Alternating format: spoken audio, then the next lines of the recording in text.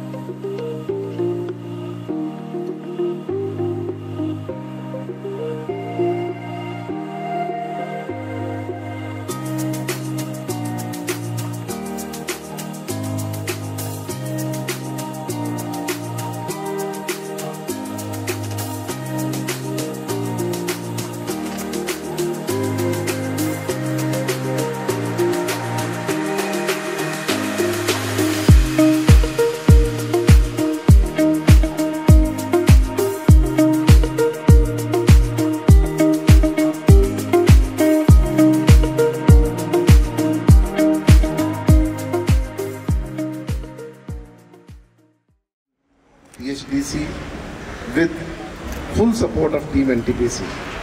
And all the agencies who are working here, particularly at this site, Team LNT, that the way you people have been working is really commendable. It's a good example. Uh, to be first time here and uh, let me thank Mr. Vishnoi that he's a very very persuasive person and uh, respected directors finance THDCIL and all senior officers of THDCIL and NTPC. Sir, I on behalf of THDCIL and NTPC project team welcome all of you at this project.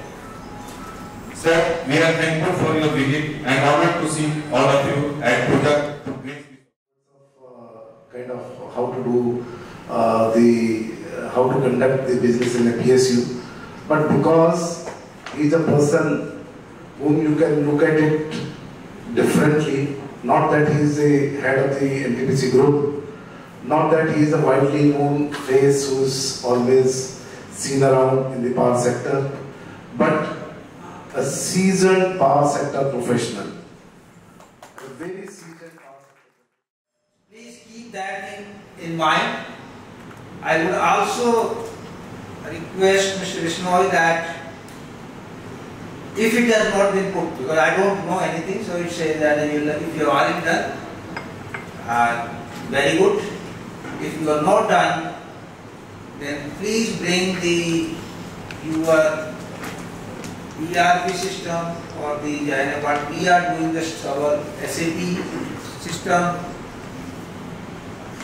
You can also seek and help from the colleagues in our to the NTPC consultancy who will be able to help that.